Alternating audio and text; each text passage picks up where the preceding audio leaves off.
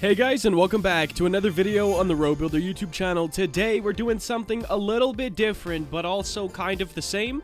I don't know how far we're going to get into this brand new series today, but we're going to try to at least get some sort of a layout done. So, I am going to be building a massive map, or at least that's the goal, and I want to try to use Roblox Real Terrain. Now, by no means is this going to be a showcase or anything like that because I am horrible with real terrain, but I love how it looks if you do it right with low poly buildings. Like, it just looks great. Like, look at Jailbreak, um, my friend Funky's game, Saiyan Rampage. These games are ridiculously good looking, and there's just a lot that I'm missing out on if I don't learn Roblox terrain.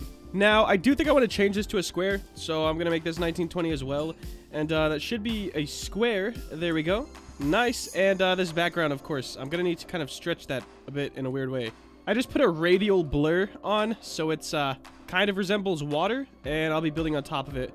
We are going to be on an island, so I think that will be pretty cool. All right, that works. Now, we're going to make a new layer. This one will be the ground. And my goal is to actually draw something out like a lot more detailed than usual because I just, I want a good map. And if I don't draw it out first, it never really works out. It just looks like every other map on a Roblox. It's nothing great. So I want to draw it out this time.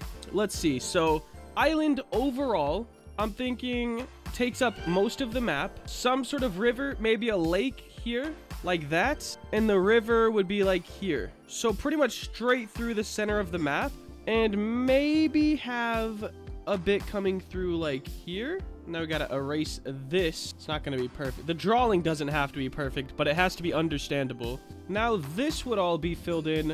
Uh, I don't know if I'm gonna like, yeah, I might as well. I'm gonna fill it all in. So I do need to avoid straight cutoffs like this. So I'm gonna kind of curve this out some and then bring it like that. So it's not a straight cutoff. I want to avoid making it look square and boxy at the end of the day. So even this one should probably come out something like this makes a little more sense. All right, so there's the base. Like our ground and our water looks decent. We are to add our grass now. So we're just to make another layer, turn this to a green.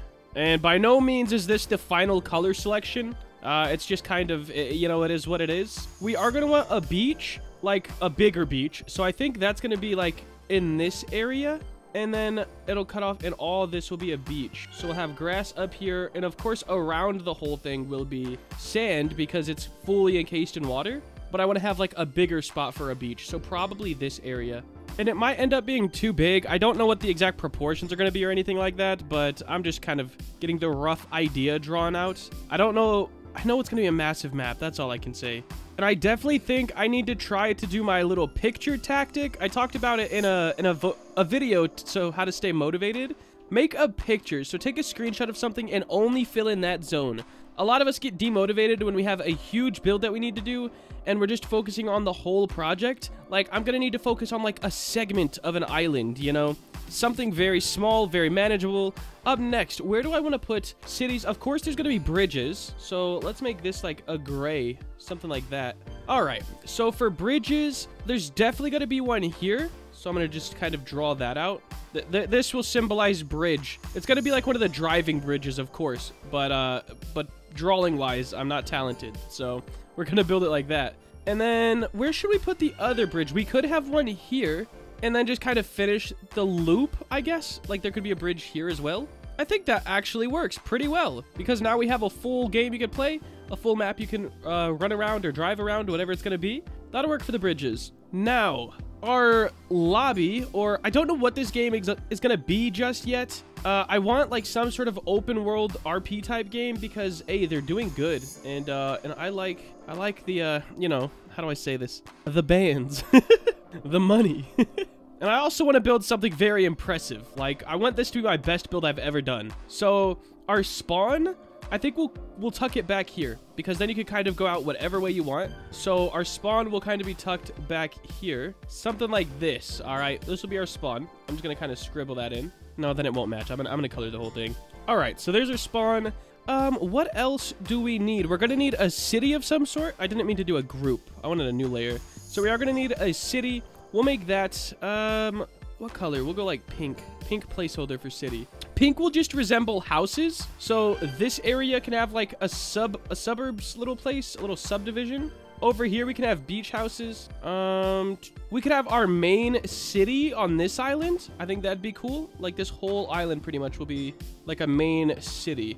And then what, what do we want? There's probably to be like points of interest over here. So we'll do one here, one here, one here. So like, like small, small places, not whole cities, but you know, like a gas station or, you know, stuff like that. I do think I want some sort of mini island in here like that. Uh, and then maybe one here as well just to break up all the water. That looks good to me. I'll probably do a huge mesh um, around the outside that's going to resemble grass, but it won't quite be grass. Let's uh, just copy this color and make it a, a bit darker so we know it's a little different. And it's going to just kind of wave around the way outsides, like really, really far away from your camera. But it will make the game seem like it's bigger, like it'll go on forever. So we'll just do something like that. There we go. And what else do we want to do?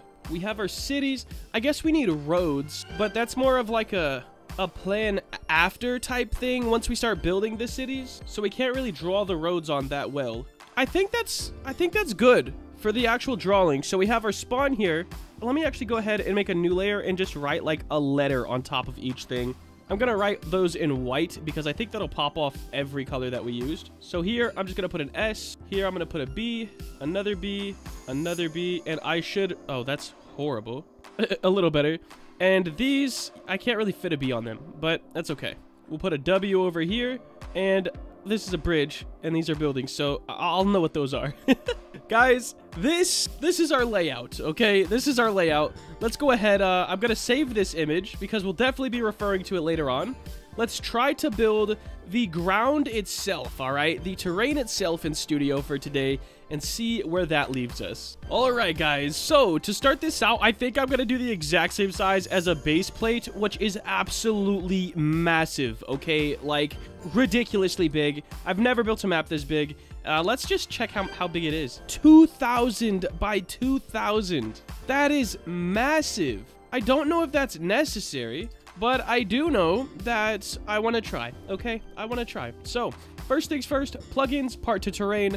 I am just going to make all of this grass, and uh, I probably have to unlock the base plate. Part to terrain, it pops up with this little menu. You got settings over here. It did have ignore locked parts, which uh, could have just turned that off. But click on the base plate. Probably have to get a little closer. There we go. Now I can close part to terrain.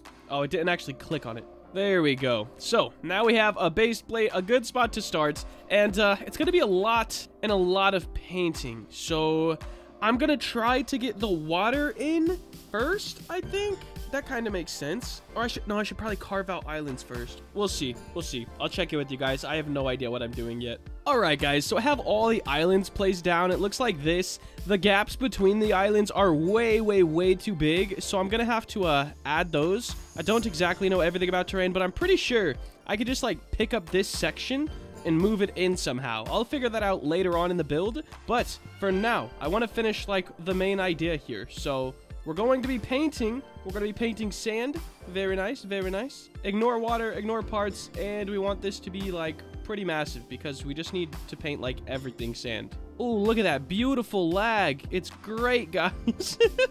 when you know your build is probably way too big, Alright guys, so far so good. Now what I want to do is grab our smooth tool, strength strengthen one, size can still be pretty far down there because all I want to do is smooth these more into the water. So it's more of a like slope downwards, I guess. Something like this. We, we have this compared to like uh, this, you know, so it's definitely a lot better. It is going to take a little bit of time and I'm not sure what the best way to do it is other than just kind of like this, like just running over it a bunch of times. Now it is adding this little like bump thing, which I don't exactly know why. So I don't know if I'm to keep that. Let me let me just like delete all this smooth stuff for a minute because I got to figure out the best way to do it.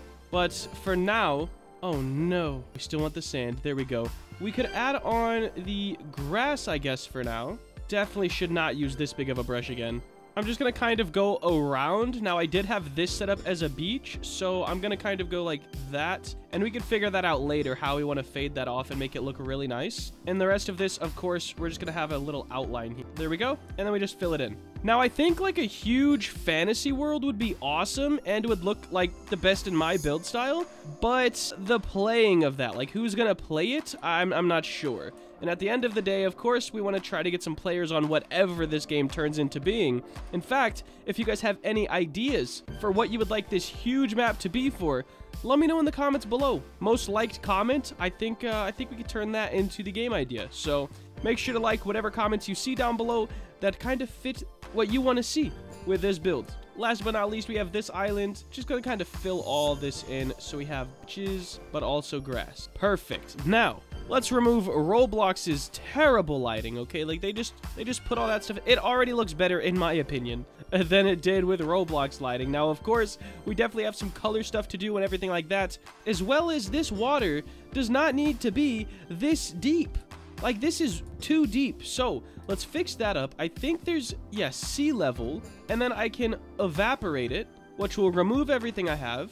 And I'm just to bring up the bottom cursor here up to like here. The water, we don't need it that deep. We just need it to resemble water. So I think this will be a good size for it. So let's go ahead and create that. And it's going to fill in all this with water and it won't be as deep as it was. Now we'll go ahead and close out of those plugins and kind of sit right here where we can see everything. Click on terrain and start working on the colors. I want the water to be a bit more vibrant, at least for now, until we figure out what we're going to change the game into.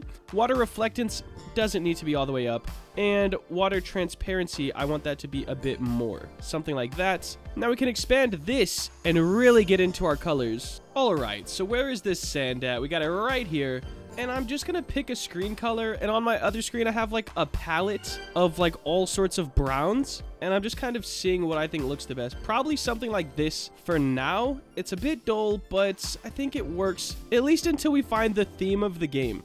Now for grass, we have a ton of different stuff we can pick. Something like this. I like this as well.